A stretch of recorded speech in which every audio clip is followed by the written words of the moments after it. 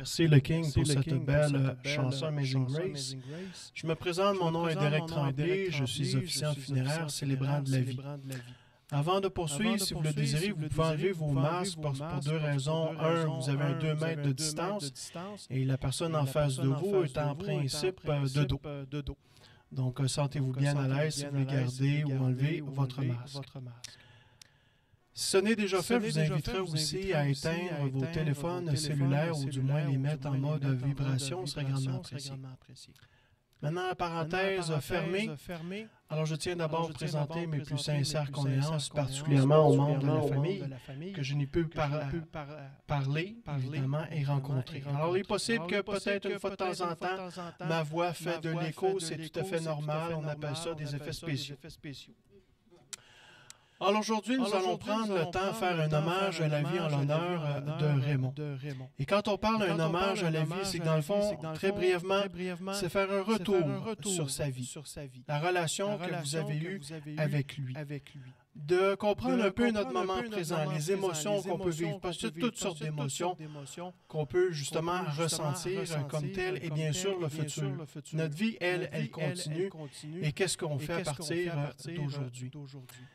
Sans plus tarder, ben, on, va, dans, le passé. Qui, qui, d'où, d'où? Et comment, est, Raymond, comme tel? Qui est-il? Et qui de mieux que des témoins, des membres de la famille pour nous en parler? Ça fait beaucoup plus personnel, bien sûr. Donc, comme petit guise d'introduction pour nous mettre dans cette atmosphère, on va écouter la prochaine chanson, Comment je te dirai, par René Wilkin.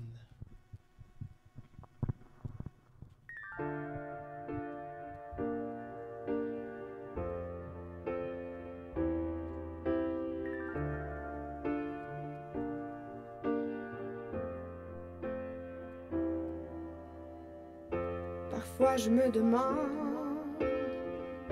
moi si j'étais poète, comment je te dirais tout cet amour que j'ai, que je t'ai dans le cœur, que je t'ai dans la tête, que j'aurais toujours peur de te voir t'en aller. Comment je te dirais que mes yeux s'inondent, que tu es le début et puis la fin du monde.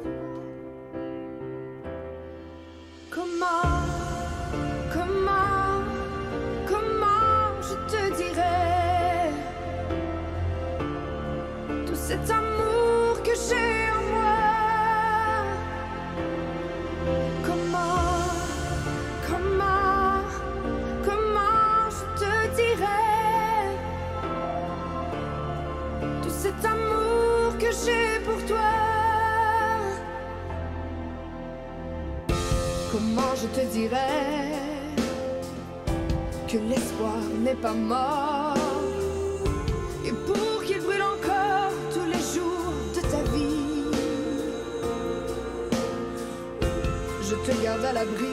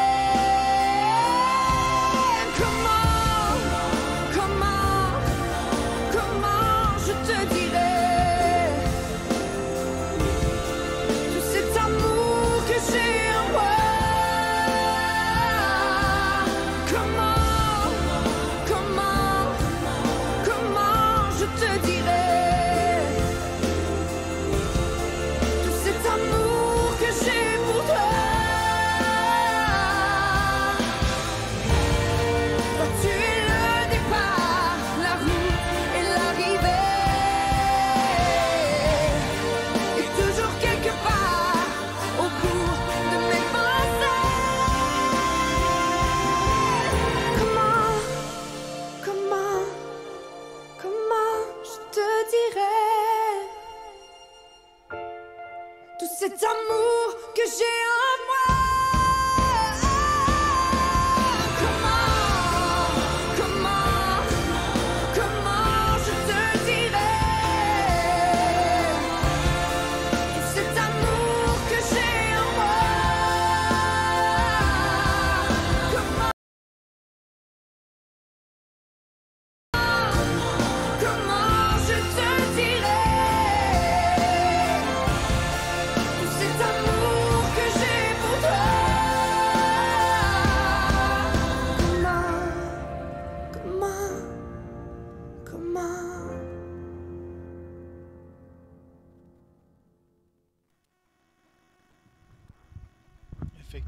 comment?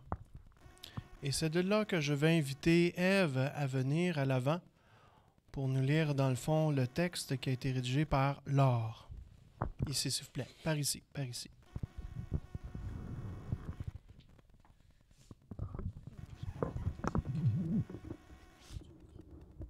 Est-ce que je peux le prendre?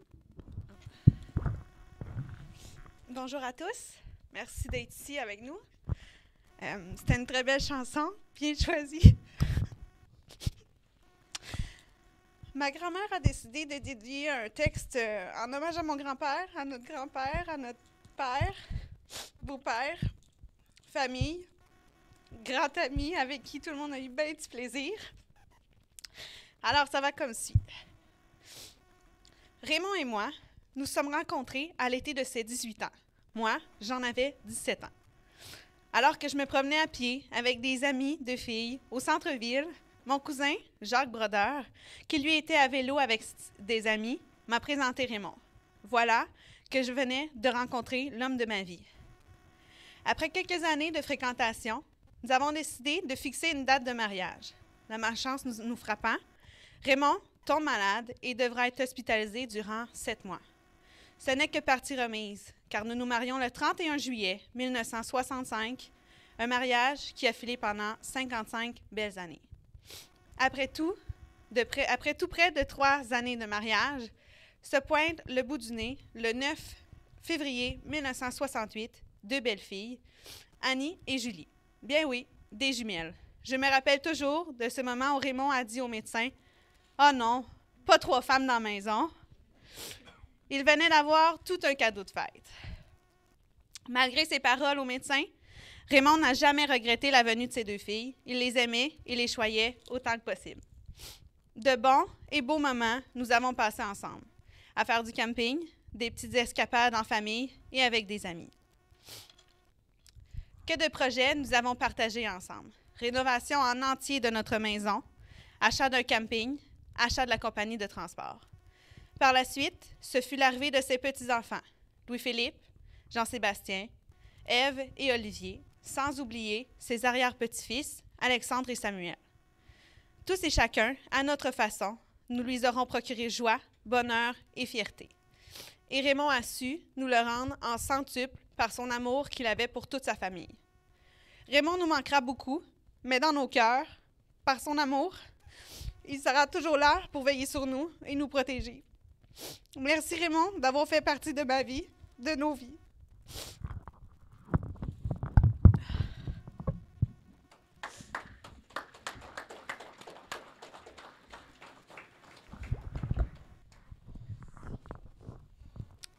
Merci.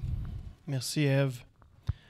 Maintenant, pour méditer sur ces paroles, nous allons écouter une autre chanson, On the Road Again, par Willie Nelson.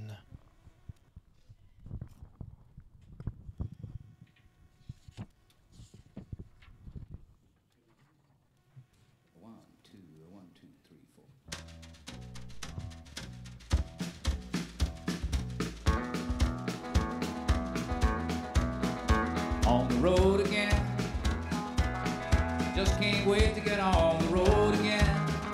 The life I love is making music with my friends. And I can't wait to get on the road again. On the road again. Going places that I've never been. Seeing things that I may never see again. I can't wait to get on the road again. On the road again.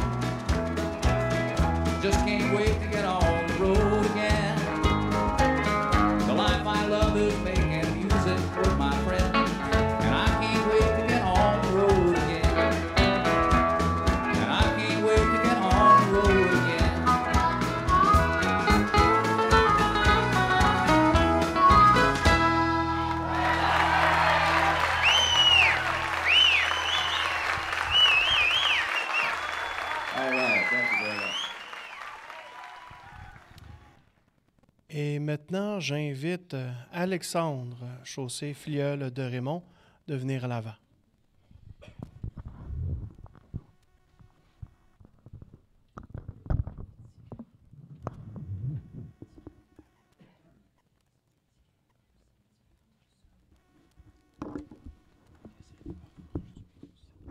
OK. Bonjour tout le monde. Euh, ben, merci d'être là. C'est le fun. Euh, fait que pour euh, célébrer la vie de Raymond, euh, un petit résumé. Je pense que ça, ça va bien faire. Raymond il est né le 8 février 1940 à Rochebeaucourt. Rochebeaucourt, c'est en Abitibi. C'est juste avant de tomber en bas de la terre. Tu fais un mille de plus, ça coupe carré, puis il n'y a plus rien. Raymond il était fier de venir de Rochebeaucourt. Raymond est allé à l'université de Rochebeaucourt. Raymond il est sorti avec un bac de l'université de Rochebeaucourt. Et pas tout seul, parce que je pense que mon père aussi est allé les deux joué au football pour l'université de Rochebeaucourt. Julien était demi de coin, puis Raymond était garde à droite, je pense. Fait que Raymond est sorti avec un bac à recyclage de l'Université de Rochebeaucourt. Mais là, en Abitibi, euh, comme il n'y a pas grand-chose à faire, puis qu'ils vendent du bord où tu tombes en bas, ben, à un moment donné, tu te dis, il faut que je revienne. Fait qu'ils sont repartis de l'Abitibi, puis toute la famille est venue s'installer à Savage Mills. Savage Mills, pour ceux qui connaissent le coin, c'est le barrage Chouanière. Euh, c'est un coin que Raymond a toujours aimé parce qu'il retournait régulièrement se promener, faire un petit tour de char dans le bas du barrage Chouanière pour voir euh, euh, d'où sa deuxième étape, sa, sa deuxième étape s'était passée. Promenade d'auto, Raymond, il a toujours aimé ça. Raymond, il se promenait pour aller voir les décorations de Noël dans le temps des fêtes. Il se promenait quand il revenait de la plage en Floride. Euh, il faisait un petit tour à Hollywood Beach avec euh, les gens qui ont eu la chance d'aller le voir là-bas. Il, leur, il les amenait faire un petit tour pour leur montrer le coin. À vos souhaits.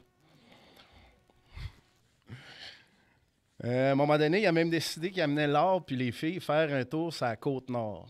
Faire un tour, là, c'est en fait son passé sur la côte nord. Parce que partir de Granby, monter sa côte nord puis revenir en trois jours, là, faut pas que tu clignes des yeux quand tu passes Bécomo parce que tu vas manquer ce qu'il y a à voir. C'est vite fait. Mais, pas grave, ils s'en souviennent. Au moins, ils s'en souviennent, ça veut dire qu'ils n'ont pas dormi sur le trajet. Fait que ça aura toujours bien valu la peine. Euh, se promener en voiture, c'était pas un problème pour Raymond, parce que lui, en fait, prendre la route pour aller en Floride à chaque année, il aimait ça. Il disait qu'à partir du moment où il s'assoyait dans son auto puis qu'il partait, ben là, il était en vacances. Comment quelqu'un qui est à sa retraite peut dire « je suis en vacances », c'est encore quelque chose qui est étrange à mon... à, ma ce que je vis en ce moment, mais bon, c'est correct. J'imagine qu'un jour, je vais comprendre. Euh, C'est-tu pour cette raison-là que, parce qu'il aimait autant se promener puis conduire, qu'il a décidé de devenir euh, camionneur, déménageur, euh, au départ avec son beau-frère, avec son beau-père Alfred? Mais il a tellement aimé ça qu'il a acheté la compagnie. Euh, il a acheté ça avec, euh, avec, euh, avec l'art. Et puis, c'est un métier qui n'était pas toujours facile, mais il affectionnait beaucoup ça. Il aimait ça vraiment beaucoup. Il comptait pas ses heures, puis il comptait pas les kilomètres non plus avec ses beaux-frères, Marc puis Pierre. Et puis, c'était pas toujours facile faire du déménagement. euh, c'est pas juste de forcer. L'hiver, il fait froid, puis l'été, il fait chaud. Mais c'est pas grave, il a réussi à passer au travers. Raymond était travaillant, autant dans son métier de camionneur que quand il a eu la belle idée d'acheter un camping avec son ami Denis Galipo. Euh, Denis Galipo, qui est son meilleur ami depuis 70 ans. T'es rendu à quel âge, Denis? Depuis 70 ans. Bon. Le camping, apparemment qu'au début, c'était un grand mot. Là. Ça n'avait pas tout à fait l'air d'un camping, mais à force d'huile de bras puis de travailler fort, ben, ils ont fini par faire quelque chose de vraiment bien. Moi-même, euh, je m'en souviens. J'ai passé beaucoup de temps là quand j'étais jeune, puis euh, il y avait- juste du fun à y avoir. Euh, il y avait des beaux moments passés sur le camping, euh, surtout pendant les tournois de balles qu'il y avait à chaque année, là, puis des tournois de balles qui étaient, populaires. Plus ça allait, plus il y avait des équipes. Puis à ma, à ma connaissance, je pense qu'ils en refusaient même des fois, parce qu'il y en avait trop. Il faut que ce soit populaire pour que tu refuses du monde. Raymond, c'était un rassembleur. Il aimait les parties, peu importe le party, que ce soit au camping, à la maison. Tout le monde était toujours bienvenu, famille, amis. La porte était toujours ouverte. C'était un gars qui était généreux de sa personne. Euh, il y a beaucoup de gens qui l'appréciaient. Tout le monde aimait Raymond, en fait, à part quelques exceptions, quelques exceptions mais je pense que c'était eux autres le problème. Euh, Raymond, c'était un pince sans rire. Quand on le connaissait, on savait que c'était une joke qu'il faisait, mais quelqu'un qui ne le connaissait pas, ça se peut que des fois, tu dis Il est-tu il est sérieux Mais bon, quand ceux qui le connaissaient et qui l'aimaient, on savait que c'était toutes des blagues. Euh, c'était un grand blagueur, c'était un chanteur à ses heures. Euh, puis c'était facile pour lui de se faire des amis, même si à la base, il n'avait pas l'air facile d'approche. Il avait l'air. mais c'est ça, pince sans rire, des fois, tu as l'air un peu froid, mettons. Mais quand tu le connaissais, c'était facile de se faire un ami de Raymond. Au lieu de se déplacer, il disait Le monde, ils savent où ce que je reste. S'ils veulent me voir, ben, qu'ils viennent me voir. Fait que c'était pas rare que la maison se remplisse de familles, d'amis. Il y avait toujours beaucoup de monde. Puis Raymond, ça faisait son bonheur. Euh, ses amis, s'il euh, avait eu la chance de pouvoir être là, il y en a plusieurs qui en auraient probablement eu long à dire là, sur euh, quelques anecdotes qui ont pu se passer avec Raymond à cause de Raymond. Il y en a qui en ont parlé dans leur message de sympathie. puis il y a des, certaines histoires de pêche, si on peut appeler ça une histoire de pêche, parce que c'est arrivé à la pêche, mais c'est pas forcément une histoire de pêche. Il en a initié beaucoup pendant ses voyages avec sa famille, ses amis, mais il y en a une en particulier où, à un moment donné, Raymond, ils bon, sont à la pêche, sont en tente, et puis à un moment donné, Raymond, il se réveillait en pleine nuit. Tu sais, quand tu bois un peu trop d'eau avant de te coucher, des fois, tu te réveilles parce que tu as comme une envie de pisse, là, Raymond, il se lève, puis il a une envie de pisse. Mais pourquoi sortir de la tente? Il y a une belle paire de bottes là. Fait que Raymond, il s'est levé, puis il a fait sa petite affaire d'un bot à Claude Chabot. Puis il s'est recouché. Claude, il se lève le lendemain, il dit T'as boire, il y a quelqu'un qui a pissé dans mes bottes. Raymond, il dit Je le sais, c'est normal, je l'ai vu. Mais ben, c'est ça, c'était Raymond.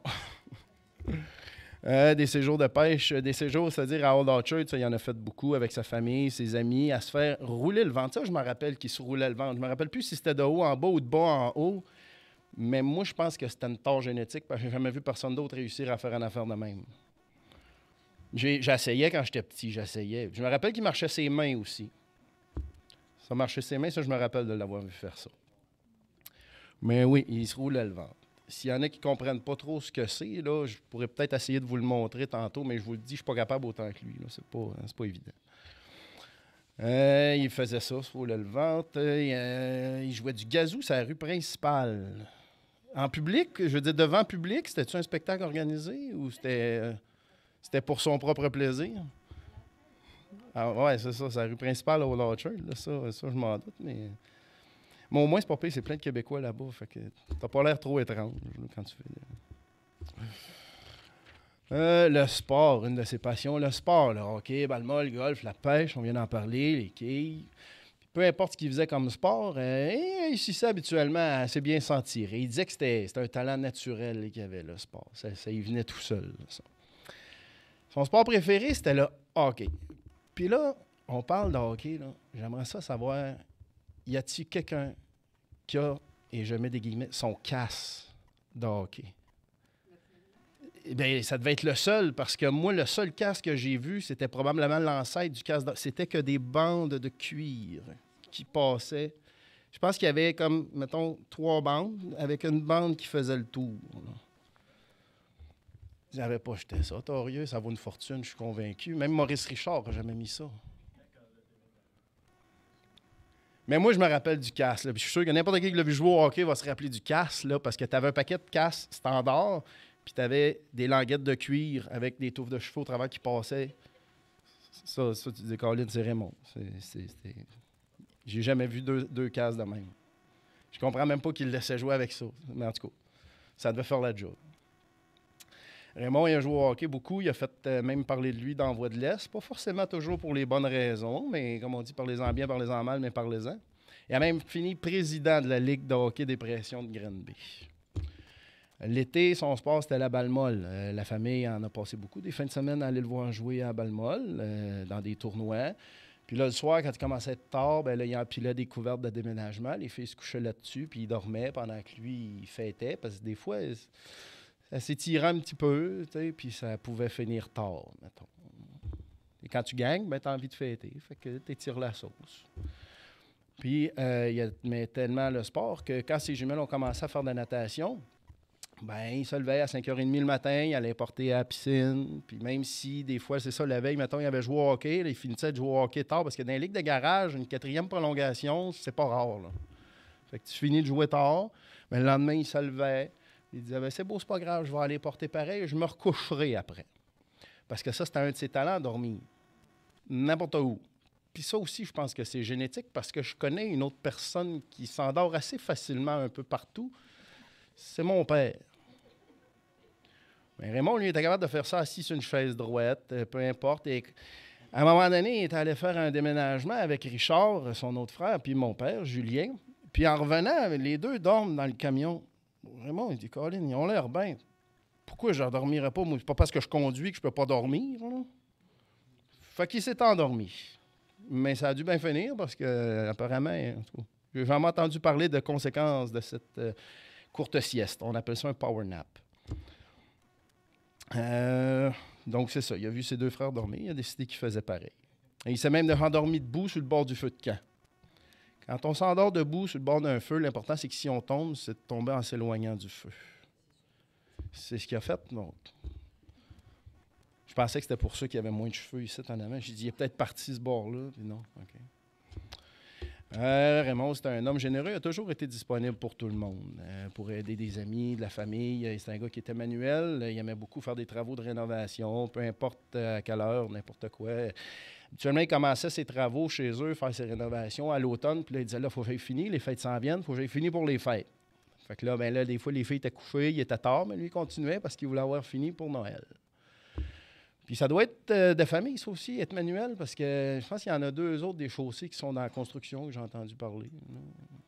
Fait que ça doit être, euh, ça doit être, ça doit être génétique, ça aussi. Puis quand les filles ont grandi, ben, ils ont eu leur propre maison, puis ça y a fait plaisir d'aller travailler dans les maisons, que ce soit chez, Julie à Saint-Césaire ou à Saint-Paul ou chez Annie ici à Granby. Puis même en Floride, il aidait tout le monde pour toutes sortes de travaux. Euh, c'est un gars qui était manuel, fait qu'il avait toujours. Euh, un gars qui était euh, débrouillard, fait qu'il avait toujours une solution à n'importe quel problème. Ce qu'il disait, c'était on peut pas faire du nœud avec du vieux, mais on va faire de notre mieux. J'ai l'impression qu'il y a plusieurs plasticiens qui ont dû la dire, celle-là aussi. À un moment donné, sont arrivés ses petits-enfants. Encore une fois, il était tout le temps là au besoin pour soit les encourager ou dans leur sport, leurs études. Il est allé à Alma en tournoi de hockey avec Lou Philippe. Euh, il est retourné avec sa soute d'hiver une couple d'années plus tard pour aller voir Olivier jouer au football. Euh, Jean-Sébastien en dehors de la ville pour aller faire du combat ultime. Euh, l'encourager dans ses études. Eve, sa petite fille, son infirmière personnelle, il a toujours été présent s'il avait besoin de lui. Euh, avait besoin d'un transport pour l'école. Grand-papa était là. il aura eu la chance aussi et la joie de connaître ses arrière-petits-fils. Il a eu le temps de les voir grandir. Eux autres aussi, des sportifs. Euh, on a profité euh, pour aller à l'extérieur, les voir jouer au hockey, au soccer. Il a même été viré à Rimouski pour un tournoi de hockey avec eux autres. Euh, Raymond aimait ça que sa famille se retrouve pour un déjeuner, un souper chez eux. il faisait ces fameuses frites que tout le monde aimait tant. Il disait que le secret, c'était qu'il mettait une petite affaire de vanille dans ses frites. S'il y avait un restant après les repas, pas trop regardant sa viande, on garde ça, on fera des sandwichs avec. On gaspille pas ça de la viande.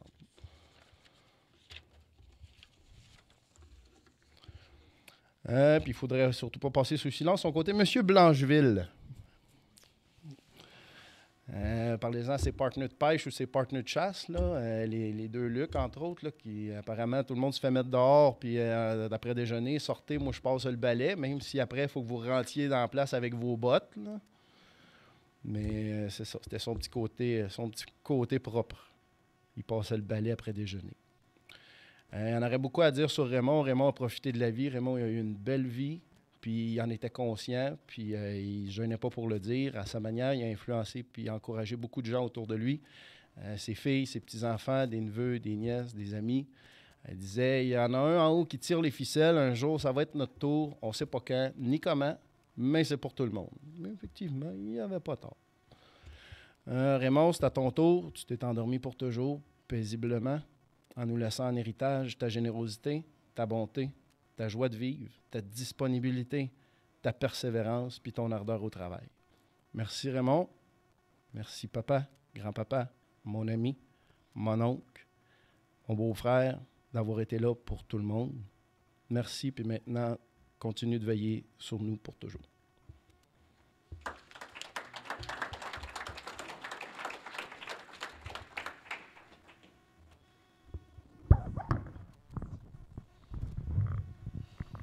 Merci Alexandre, bien fait ça, n'est-ce pas?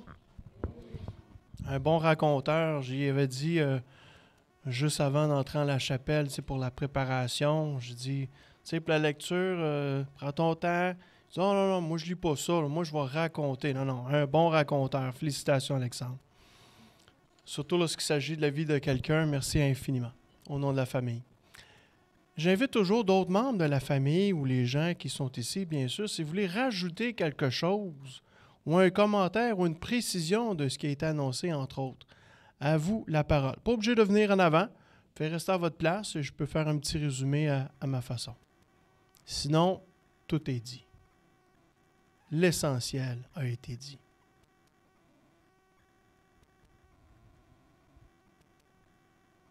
Alors, qui ne dit mot consent? C'est bon. Alors aujourd'hui, comme je faisais référence, on parlait sur sa vie, sur l'histoire, le passé. Maintenant, le moment présent. Ce qui nous définit, c'est pas juste parce qu'on va être un sportif comme il a fait, ou un chasseur, ou euh, à accueillir du monde à la maison. Ce qui nous définit aussi, c'est nos émotions, particulièrement aujourd'hui. Et lorsqu'on parle des émotions en lien avec des funérailles, ben, peu importe les émotions, honnêtement, ça fait mal. Parce que la mort, ça fait mal. Et le nombre de mots qui peuvent commencer par mal, il y en a plusieurs, dont maladie. Le mal a dit quelque chose. Et c'est de là ici qu'ensemble, c'est d'exprimer ces émotions-là, de sortir, de verbaliser. Faites-vous-en pas, on ne fera pas une thérapie de groupe, là, pas du tout. Mais l'idée, c'est au moins de le dire d'une certaine façon. Par exemple, c'est stressant venir parler aussi en avant. C'est stressant de savoir quelle démarche qu'on doit faire. Où aller, le notaire, combien ça coûte, téléphoner le paquet de monde, combien de monde qu'on va recevoir, gérer tous les courriels que vous avez reçus, parce qu'il y en a eu plusieurs de vœux de sympathie et de condoléances que les membres ont reçus, bien sûr. Bref, il y a beaucoup de pression. Un autre, ça peut être le choc, le déni. Ben voyons donc, un gars si sportif, autant en forme, etc., qui du jour au lendemain, paf, voyons, ça se peut pas. Ça peut arriver. D'autres, un sentiment comme un peu de culpabilité. Dans le sens, je regrette d'y avoir dit des choses. J'aurais donc voulu lui dire pardon ou excuse-moi avant qu'il parte. Ça pourrait arriver, on sait jamais. Ou encore même de la colère. Pour certaines personnes, la colère, c'est comme genre crier dans un oreiller et plus. La colère, beau, un bien beau être en maudit après Dieu, l'univers, la vie en général, peu importe. Et bien sûr, la tristesse, ce qui nous fait pleurer. Qui, dans l'extrémité, ça peut aller jusqu'à la dépression? S'isoler dans un coin, ne pas parler à personne. Évidemment, c'est quelques exemples imagés extrêmes que je donne. Mais que d'une manière ou d'une autre, toutes ces émotions-là, les gens vont les vivre à une intensité différente à une autre, et ça ne veut pas dire qu'ils vont toutes les vivre, parce que les psychologues, pendant des années, vont dire qu'il y a des étapes du deuil. Oui, mais ce n'est pas nécessairement toutes ces étapes-là dans un ordre particulier, mais que les gens vont vivre d'une manière ou d'une autre. Pourquoi est-ce que c'est important de le mentionner? Et ça, je le mentionne dans tous mes hommages. Parce qu'il y en a vont mettre de la pression à la personne qui souffre, vont dire Regarde, reviens-en. Là. Pas du tout. Il faut prendre le temps qu'on a de besoin. Mais c'est surtout d'avoir les personnes ressources aussi, comme telles. Parce qu'à force d'avoir des émotions négatives qui font mal, ben ça vient nous, excusez-moi l'expression, drainer notre énergie. Parce qu'on se sent fatigué. Et en général, c'est oui. Et de là, notre corps a besoin de repos, a besoin de se refaire. N'est-ce pas? C'est de là que les psychologues vont parler entre autres de l'acceptation. Et quand on parle de l'acceptation, ça ne veut pas dire c'est fait, c'est passé, on passe à autre chose. Non, l'acceptation, c'est dire c'est arrivé, je l'accueille, mais que je peux faire quand même un clin d'œil. On peut quand même que si moi, dans ma vie, ça va mal, avec toutes les belles histoires qu'on a entendues, ben, c'est de rappeler ces beaux moments-là. Et de là que vous et moi, on est sûrement fatigués du COVID-19. Est-ce qu'il y a quelqu'un qui est fatigué de ça? Ça parle pas fort. Donc, il faut croire que vous êtes trop fatigué pour exprimer votre fatigue. Parce que moi, je ne suis pas fatigué, je suis écœuré. N'est-ce pas? Quand on est écœuré, fatigué, jusque sur le bord de l'épuisement, il y a quelque chose que je suis prêt à vous proposer. On appelle ça une certaine technique de visualisation. Et vous allez voir où est-ce que je m'en vais avec ça. Imaginez que vous êtes sur le bord d'une plage. Vous êtes en bikini ou en costume de bain, ça n'a pas d'importance. Vos orteils touchent le sable chaud. Hein, vous, vous rentrez votre pied littéralement dans le sable. La chaleur, le son des vagues, les oiseaux pas trop loin. Probablement que vous avez un mojito, d'autres un cigare dans la main. Peu importe. Et là, vous prenez votre petite marche. Vous entendez encore les vagues. C'est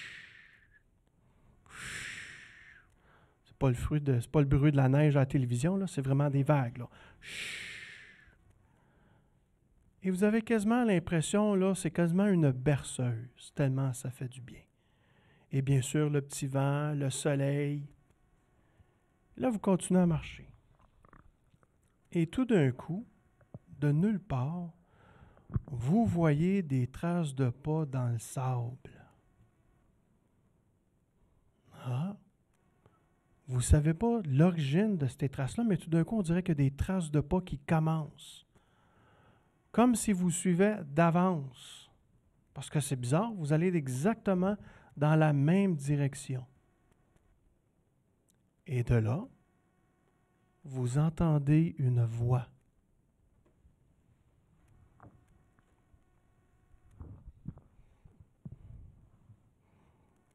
Ma chère épouse,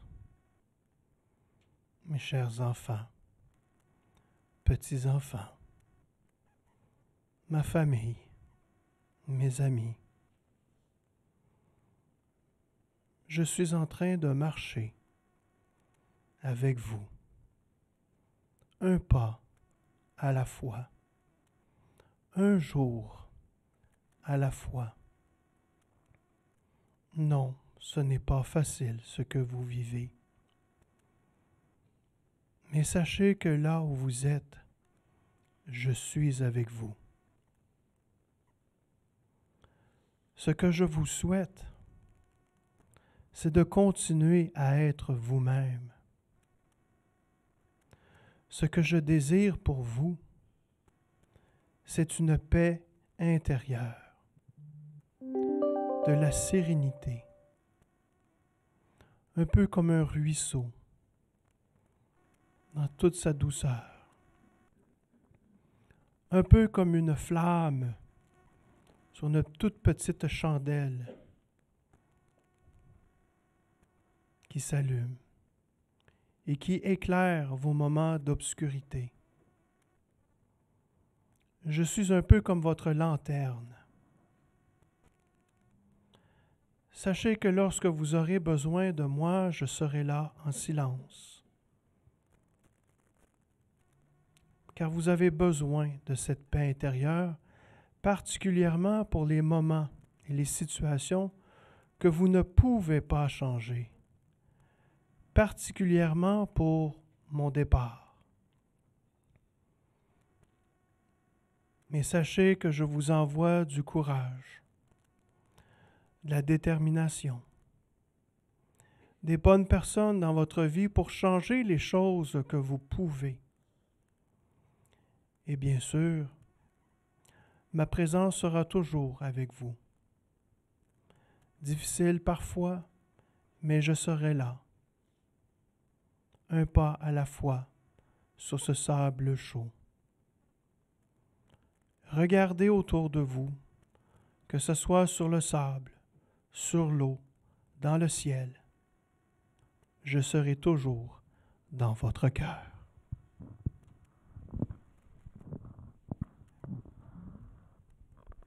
Alors voilà les paroles de Raymond à vous. Et c'est la première fois que je fais cela avec vous. Je ne l'ai jamais fait à aucun service funéraire. De faire comme si le défunt ou la défunte vous parlait.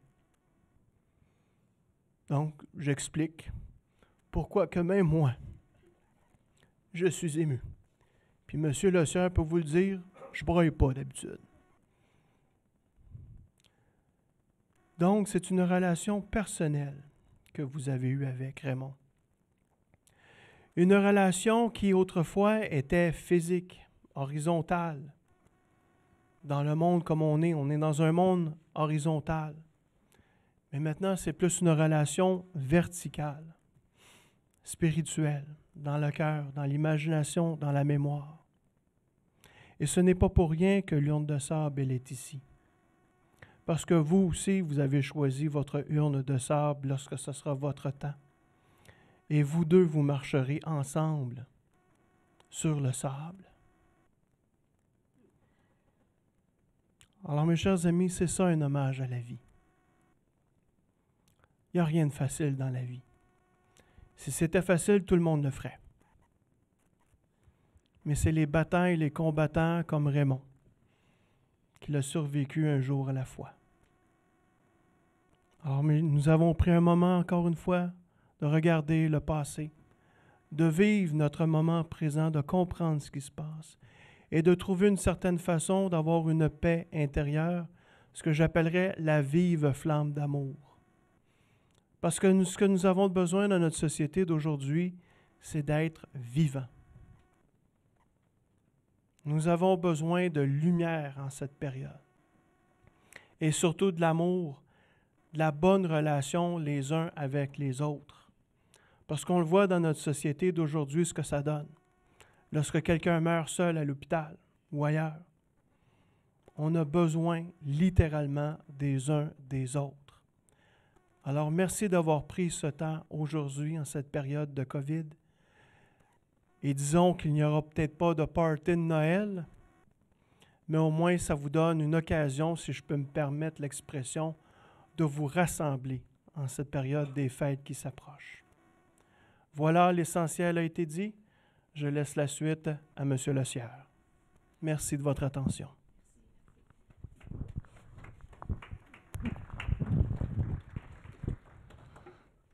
Alors, euh, dans quelques instants, nous allons euh, nous diriger vers euh, le columbarium pour déposer l'urne à son dernier endroit. Alors, comme je vous l'ai mentionné tout à l'heure, on inviterait seulement la famille très immédiate pour l'entrée en premier dans le columbarium.